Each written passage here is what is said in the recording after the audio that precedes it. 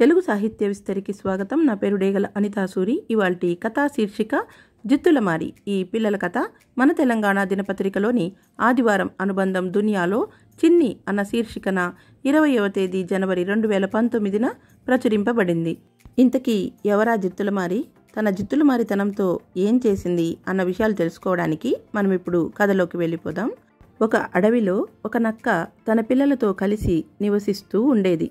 అది పిల్లల సంరక్షణ కోసం ఎక్కువ సమయం గడుపుతూ ఆహారం కోసం దగ్గరలోనే వెతికి ఏది దొరికితే అది పట్టుకొచ్చి పిల్లలకు పెట్టి తాను మిగిలింది తినేది. దానివల్ల కొన్ని రోజులకు సరిపడినంత ఆహారం తీసుకోనందున చిక్కి శల్యమైపోయింది. అదే సమయంలో ఒక పెద్ద పులి జింకను వేటాడి తిన్నంత తిని మిగిలింది గుహలో వదిలి తన పిల్లలతో వాహ్యాళిగా తిరుగుతుంటే చిక్కిన నక్క కనిపించింది. దాన్ని చూసిన పులి తన పిల్లలకు సులభంగా వేటాడడం నేర్పవచ్చని భావించి నక్క ముందుకెళ్ళి నిలబడింది.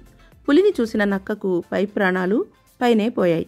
అయినా వణికే గొంతుతో తనకు చిన్న పిల్లలున్నారని విడిచిపెట్టమని వేడుకుంది. నిన్ను విడిచిపెడితే నా పిల్లలు వేటాడటం ఎలా నేర్చుకుంటాయి? అని ఎదురు ప్రశ్నించింది పులి. నన్నైతే ఒక్కసారే వేటాడగలవు. నన్ను విడిచిపెడితే లేడి కుందేలు దుప్పి వంటి జీవాల ఉనికి తెలిపి సహకరిస్తాను అని ప్రాధేయపడింది. పులికి కూడా పెద్దగా ఆకలి లేకపోవటంతో సర్లే ఎంతమాత్రం నిజాయితీ ఉందో చూద్దాం. నన్ను కాదని ఎంతకాలం తప్పించుకోగలదు? అనుకుని విడిచిపెట్టింది.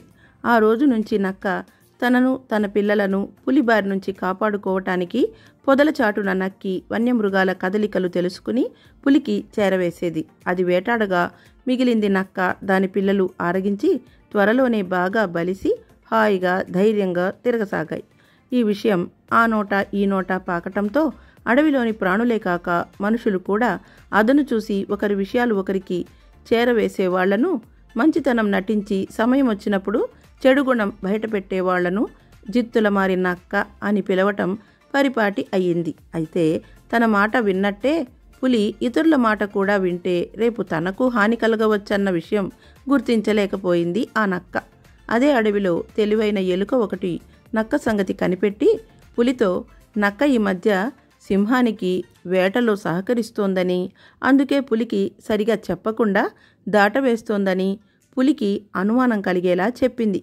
ఒకరోజు బాగా ఆకలి వేసిన పులి ఏవైనా జంతువుల సమాచారం తెచ్చావా? అని నక్కను అడిగింది.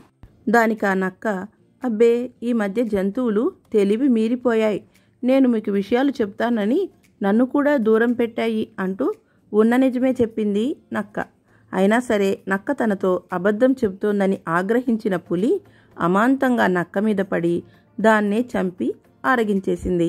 అందువల్ల చెడ్డవారితో ఎక్కువగా స్నేహం చేసి జిత్తుల మారితనం ప్రదర్శించటం వల్ల ఏదో ఒకరోజు మొదటికే మోసం వచ్చి నమ్మిన వాళ్ళకే కాకుండా సొంత వాళ్ళకు దూరమవుతామని గ్రహించాలనే గుణపాఠం తన ముగింపుతో లోకానికిచ్చింది తిత్తులమారి నక్క. ఇదండి కథ. ఈ కథ కనుక మీకు నచ్చినట్లయితే కామెంట్ చేయండి లైక్ చేయండి షేర్ చేయండి. మరిన్ని కథల కోసం మా తెలుగు సాహిత్య విస్తరి ఛానల్ని సబ్స్క్రైబ్ చేసుకోండి. మరో కథతో మళ్ళీ కలుద్దాం. అంతవరకు సెలవు. నమస్తే.